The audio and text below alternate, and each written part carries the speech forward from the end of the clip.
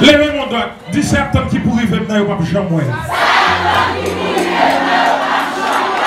Au contraire. Le ciel va le faire saisir. Le ciel va le faire saisir.